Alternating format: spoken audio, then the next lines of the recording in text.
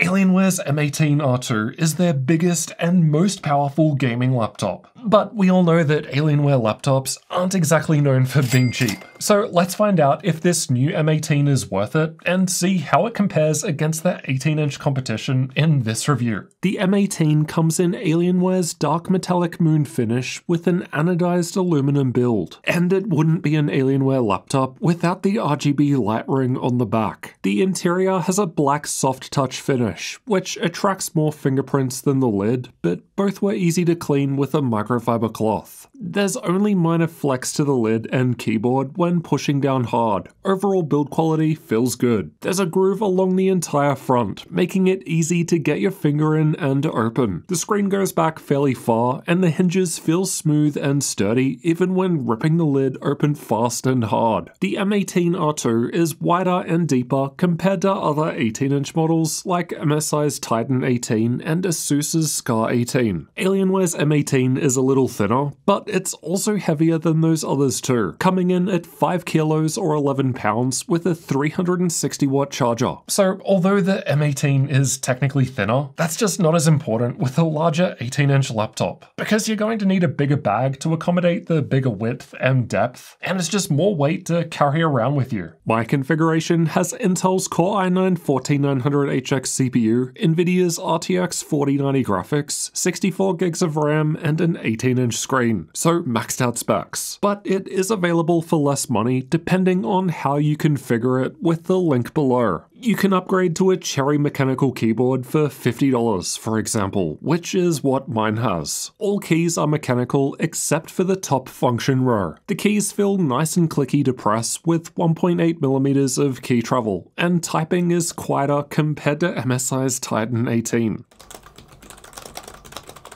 It's got customizable per-key RGB backlighting, and all keys and secondary functions get lit up. Brightness can be adjusted between two levels or turned off with the F7 shortcut key, but this does not affect the light ring on the back or the Alienware logo on the lid. Those are controlled through the Alien FX section of Alienware's Command Center software. The touchpad is large, centered to the letter keys, and works well. No problems there. The power button is separate to the keyboard and lights up. The Alien FX software shows you what the different colors mean. Personally, I'd prefer if it changed color based on the performance mode like other laptops, as I find that more useful. But hey, low battery colors might be useful if you're in a game. As for ports, the left side has 5GB Ethernet, the first laptop I've ever had with Ethernet that fast followed by two USB 3.2 Gen 1 Type A ports and a 3.5mm audio combo jack. The right just has a USB 3.2 Gen 1 Type C port, but it's down the front and cables would get in the way for right-handed mouse users. The rest is on the back. From left to right, there are two Thunderbolt 4 Type-C ports, a third USB 3.2 Gen 1 Type-A port, HDMI 2.1 output, mini DisplayPort 1.4, an SD card slot, and the power input on the right.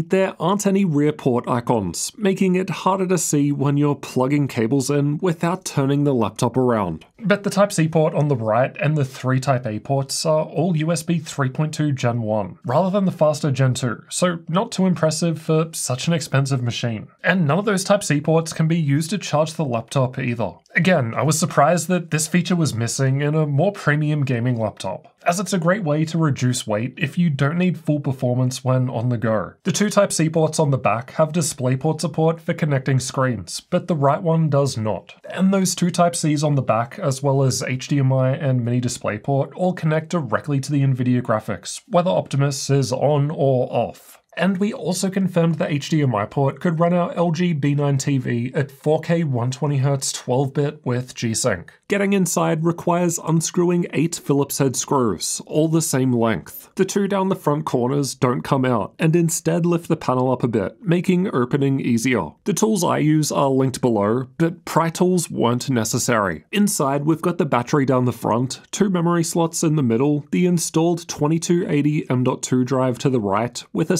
second 2280 slot just below, and two 2230 M.2 slots on the left, so up to four SSDs is possible. The Wi-Fi 7 card is between the RAM and installed SSD. I suppose if you really wanted to, it might be possible to take out this fan, grind down the standoffs, and fit in longer 2280 drives, but I won't be trying that. The speeds from the 2TB PCIe Gen 4 SSD were great, and the SD card slot was fairly fast too. It doesn't click in for security and sticks out a bit, but it will be harder to bump as it's on the back. It's got the fastest Wi-Fi 7 we've tested so far, but we only just upgraded to a Wi-Fi 7 router and don't have too many other results just yet. The upgradability score is well above average due to the extra M.2 slots. I normally give a full point per 2280 M.2 slot, so I went with half a point for the smaller 2230 slots. The M18 has more M.2 slots than any other 18-inch gaming laptop I've tested in the last two years. MSI's Titans are ahead, as those also have four memory slots. The speakers are found underneath on the left and right sides towards the front they don't sound very good. They're tinny without any real bass. MSI's Titan 18 sounds a bit better, while Asus's Scar 18 sounds much better. The LatencyMon results weren't great, but still better compared to a lot of laptops we tested last year. The M18 is powered by a 6 cell 97 watt hour battery, almost as big as you can get in a laptop. But battery life isn't great, lasting for less than 5 hours at stock. I've got two results because by default there isn't isn't any software to automatically lower the screen's refresh rate down to 60Hz when you unplug the charger. Most other laptops offer this, so I manually changed it just to see what the difference would be. That simple change gets you an extra 45 minutes of runtime, so not sure why Dell doesn't offer this feature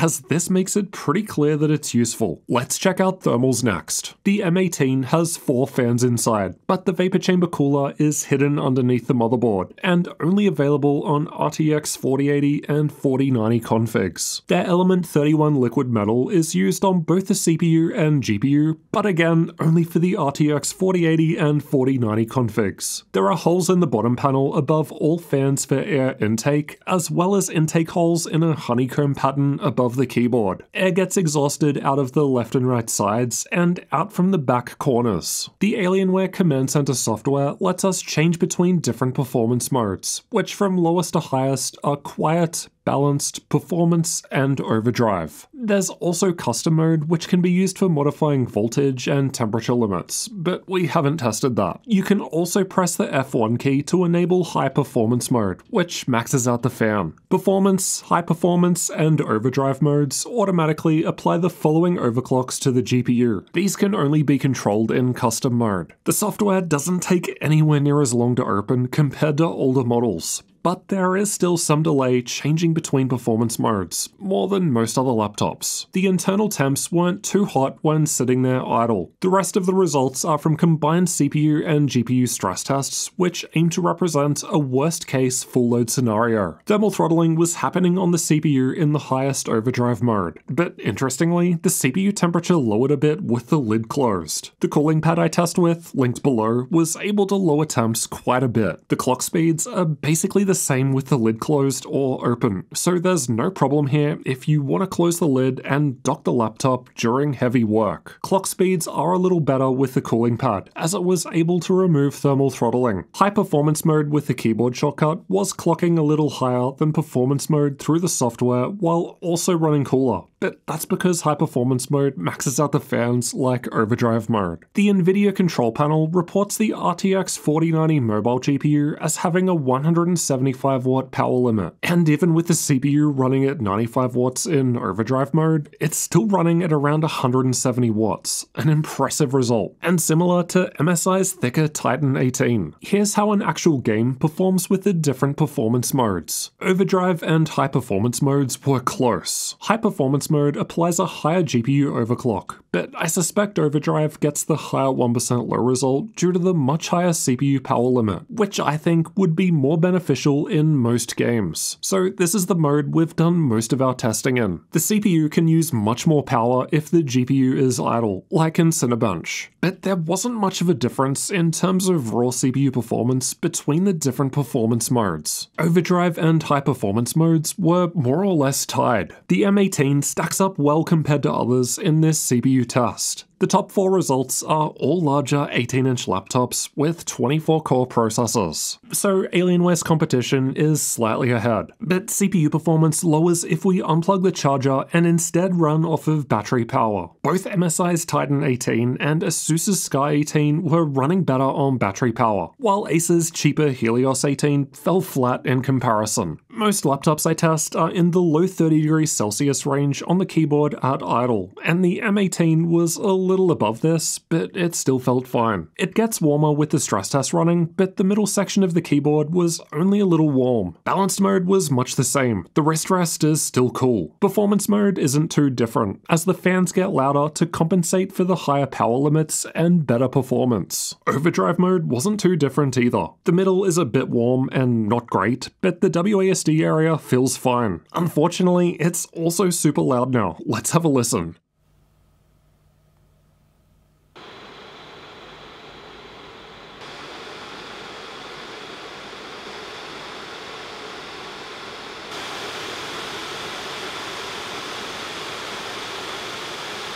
The fans were completely silent when sitting there idle, and then got louder under load with the higher performance modes. Overdrive and high performance were quite loud, as the fans got maxed out. Considering game FPS wasn't much lower in performance, or even balanced mode, you could definitely have much quieter fans without losing too much FPS. This year's new M18R2 has the same screen options as last year's M18R1. There's the 165Hz 2560 by 1600 panel that mine has, or you can pay $50 more for 1920 by 1200 at 480Hz. At this larger 18 inch size, I don't think that that almost 1080p panel option is going to look very good. 1080p already doesn't look good to me at 17 inches, I can just see the pixels. So it's probably only worth considering if you're serious about competitive esports and also want a larger screen. The screen offers nice colors, but it doesn't get super bright. It's still above 300 nits, but that's the minimum I want to see, and it's not impressive for such an expensive laptop. It's brighter compared to last year's X16, but there are still much brighter 18 inch panels out there. Backlight bleed wasn't a problem, but this will vary between laptops. Screen response time is quite good. Ideally, a 165Hz screen needs transitions to occur within a 6 millisecond refresh window, but even the lowest transition was under this, so no issues with ghosting. It stacks up well compared to most other laptops, much better compared to MSI's Titan 18, about the same as Asus's competing Scar 18, but not quite as good as Acer's Helios 18 or Razer's Blade 18 from last year. Granted, the difference is quite small, and probably not one you would be able to notice. The total system latency is the amount of time between a mouse click and when a gunshot fire appears on the screen in Counter-Strike 2. The M18R2 is one of the fastest results we've measured so far, and close to the other high-end 18-inch laptops tested. The M18 has a MUX switch, but it's a little hidden in the software, and that needs a reboot to use, so you'd be better off using Advanced Optimus instead through the NVIDIA control panel, as that does not need a reboot. G-Sync is available when Optimus is off, and Adaptive Sync when Optimus is on. There's a 1080p camera above the screen, and it has IR for Windows Hello Face Unlock. Here's how the camera and microphones look and sound, and this is what it sounds like while typing on the mechanical keyboard. Now let's find out how well Alienware's M18R2 performs in games. We've tested with these settings for best results. Cyberpunk 2077 was tested with our own custom test run, and I've got the M18 shown by the red highlight. It's close to a number of other RTX 4090 gaming laptops, but on the lower side at 1080p. This surprised me, considering overdrive mode can run the CPU above 90 watts in our stress tests. I checked, and during this test, the CPU was running at 93 watts, while the GPU was at 140. It moves up a few positions out of the same selection of laptops at the higher 1440p resolution. The difference between the top 10 or so results is mostly within the margin of error range, and not something you'd actually notice when playing, and that goes for 4K too. We're talking about a 2 to 3 FPS difference between the 11 best 4090 results. That's just not significant. Red Dead Redemption 2 was tested with the game's benchmark. Again, there's not really much difference between many of the 4090 laptops. But that said, the M18R2 was right next to one of the best 4080 results, as the GPU just matters less at low resolutions like 1080p. 1440p on the other hand is a bit closer to the native 2560 by 1600 resolution of the screen, though some of the 4080 results weren't that much behind there's only a bigger difference between 4080 and 4090 at the higher 4K resolution, though Lenovo's smaller and lighter Legion 9 was able to perform better. It's a similar deal in control at all three resolutions. The M18R2 isn't the best result despite being one of the biggest laptops we've tested, but there's not much difference between many of the 4090 laptops, especially at 4K. Here are the 3D Mark results for those that find them useful. Now for some content creator tests. Just like the games, the M18R2 performs similarly to other laptops with similar specs. The 14th gen processor doesn't really give a clear advantage over the older 13th gen models, as it's basically the same CPU. Dell's BIOS is only second to MSI when it comes to customization. There are way more options available here compared to most other laptops like Asus's SCAR 18 or Acer's Helios 18. MSI's Titan 18 offers much more tuning for enthusiasts, but you can still do a bit with the Alienware M18. Linux support was tested with an Ubuntu 23.10 live CD. By default, the keyboard, touchpad, camera, and speakers all worked. The 5GB Ethernet and Wi-Fi 7 did not work though. Newer drivers than what this OS ships with are probably required. Keyboard shortcuts for adjusting screen brightness, keyboard brightness, and and volume all worked, but the F1 high performance shortcut didn't do anything. Pricing and availability will change over time, so check the link below the video for updates and current sales. And if the M18R2 does have a good sale, we'll be sure to add it to our gaminglaptop.deals website. We update that every day to include all of the latest sales, so make sure that you check it out regularly to save money on your next gaming laptop. At the time of recording, the M18R2 starts at 1900 US dollars for the lowest spec RTX 4060 config without any sales running. Definitely not cheap for 4060 level performance. The near maxed out configuration we've tested in this video goes for 3500 US dollars. So again, not cheap if we were to compare it against a smaller laptop with a 4090, but it's actually cheaper than most of its 18 inch competition. Asus's Scar 18 costs $400 more with half the memory but with a much brighter mini LED screen. Meanwhile, MSI's Titan 18 is $1,900 more than Alienware's M18R2, so you could literally buy a 4090 and 4060 M18 for the same price as a Titan.